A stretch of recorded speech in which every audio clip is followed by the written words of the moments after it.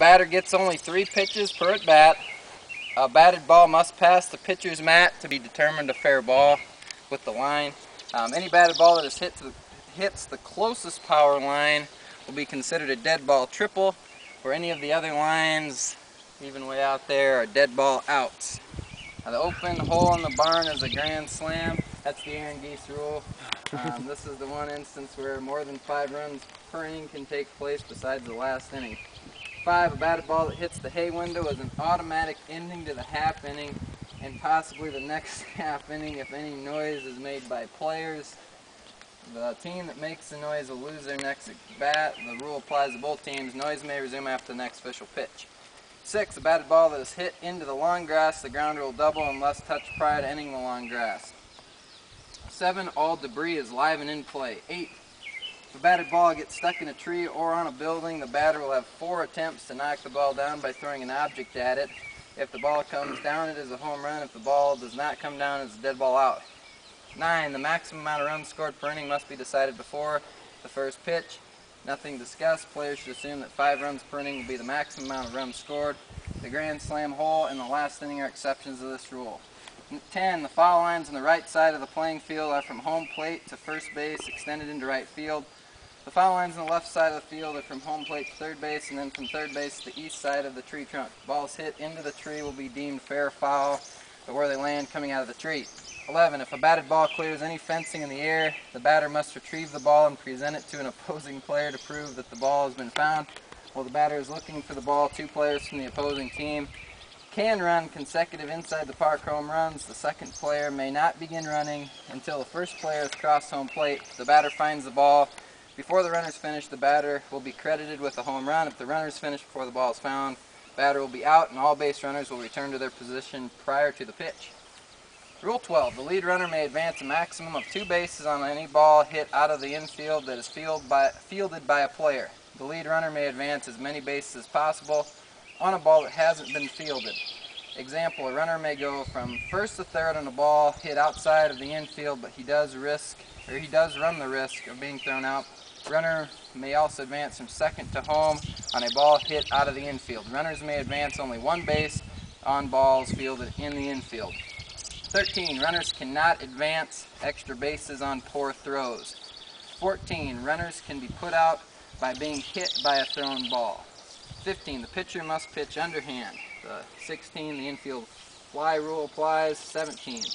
A batted ball that hits the pitcher will result in a dead ball single. All base runners can advance one base. 18. Captains will be selected by hit-off. The order of the hit-off will go by age of the Poohball athletes, youngest to oldest. The farthest blast will be captains. Another hit-off will break any ties. Rock, paper, scissors will determine who has the first pick or has they have the choice of that or home team. Players who are being selected will line up in order of age for the captains.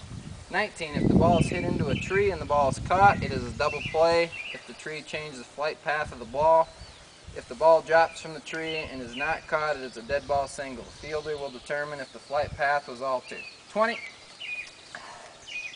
Pinch running can take place at any time as long as the pinch runner is not due up to bat. The team may only use a pinch runner once per half inning. The pinch runner must hit the original runner, must return to the base.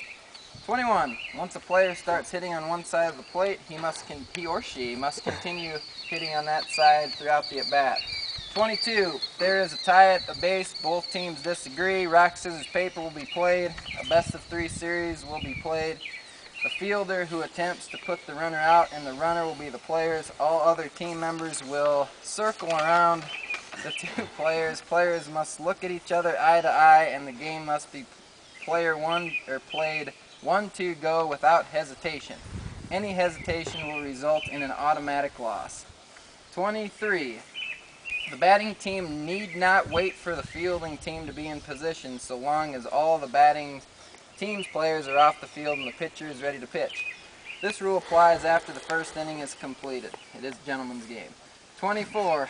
Between half innings, no one, nobody may stall the play of game by holding a player or Poohball against one's will. Dropping the ball by the team that will be on offense will allow the defensive team to pick it up and allow their fielders to get in position. 25. A runner may distract a fielder. However, any intentional contact, this is the Steve Raymond rule, will be deemed an automatic out and a spanking of two times by the opposing captain. 26. There will be three outs per half inning. 27. In tournaments in which more than two teams will be involved, captains will be chosen according to Rule 18. However, the captain who hit the farthest blast will have the option of which pick to take. The decision for which pick to take will continue until a draft order has been decided. All selections will be made fantasy draft style 1 2 3 4 4 3 2 1 or 1 2 3 3 2 1 today. 28. A team's batting order will be determined by the order of selections in the draft. The captain will be the first batter. 29. Softball style leads will be allowed.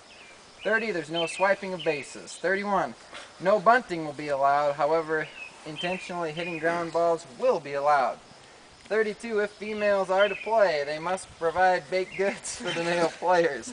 This rule is waived for the 4th of July tournament and for Thanksgiving poo, although those females are still encouraged to bring some baked goods if possible. Thank you, Lindsay. And Katie. I didn't know we had two. Thank you. Awesome. Um, 33. It's a gentleman's game. Players must be honest at all times and respect the integrity of the game. With that, let's do a hit off. Who's up?